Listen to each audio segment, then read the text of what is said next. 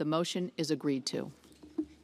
The U.S. Senate is now taking what should be the final step needed to approve Brett Kavanaugh for the U.S. Supreme Court 30 hours of debate and a vote.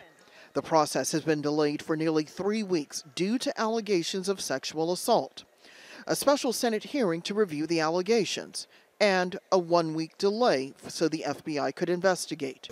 Saying thank you is not an answer. Senator Jeff Flake, a swing vote, was pressured by sexual assault victims into calling for the delay.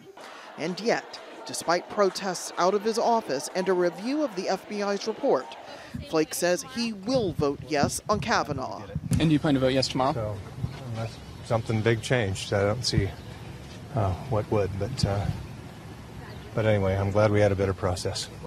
Kavanaugh was already a contentious choice because of his conservative views on abortion, gun laws, and presidential powers.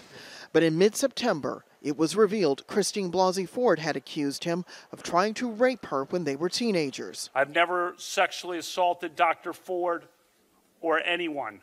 As Kavanaugh tried to clear his name, his testimony before the Senate Judiciary Committee raised new concerns. Was he too hot headed to be one of the United States' top judges, possibly for decades?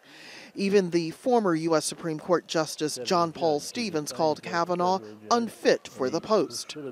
Supporters called this criticism slander and insist Kavanaugh should be approved. Judge Kavanaugh was publicly accused of a crime, and his reputation and livelihood were at stake, so it was only fair that his accuser have the burden of proof.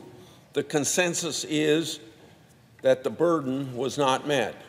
Republican Lisa Murkowski said on Friday she would not vote in Kavanaugh's favor, but two other so called swing senators signed off in support of the nominee, moving Kavanaugh's confirmation that much closer to the finish line. I had to deal with the facts I had in front of me. I will vote to confirm Judge Kavanaugh. The U.S. President Donald Trump has cheered the U.S. Senate's decision to hold its final debate and vote. But the outcome won't be known until all of the senators have actually cast their ballots, and not a second before. Rosiland Jordan, Al Jazeera, Capitol Hill.